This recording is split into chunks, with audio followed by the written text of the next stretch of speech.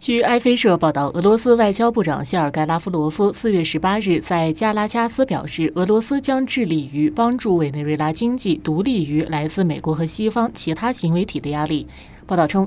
拉夫罗夫在与委内瑞拉外长伊万希尔会谈后对记者说：“我们将以一切方式提供帮助，以使委内瑞拉的经济成为独立于美国和西方其他行为体压力的经济。”拉夫罗夫表示。他相信，处于大量制裁之下的俄罗斯的经验将对委内瑞拉非常有用。报道称，希尔表示，他的国家没有感觉到国际制裁的放松，而委内瑞拉的经济复苏得益于民众的自身努力和该国与世界许多国家的合作。希尔说：“我们继续向美国和欧洲要求，必须取消所有制裁。在没有取消对委内瑞拉经济的最后一项制裁之前，我们无法谈论国家间关系的正常状态。”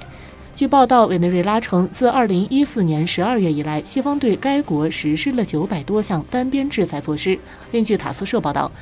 拉夫罗夫在与希尔会谈后举行的记者会上表示，在遭受西方制裁的数量方面，俄罗斯是世界冠军。俄将与委内瑞拉分享摆脱西方制裁影响的经验。拉夫罗夫说：“我相信我们的经验对委内瑞拉朋友也有用，因为就制裁的数量而言，我们现在是世界冠军。我们正在迅速积累经验，我们将与委内瑞拉同行分享这些经验。”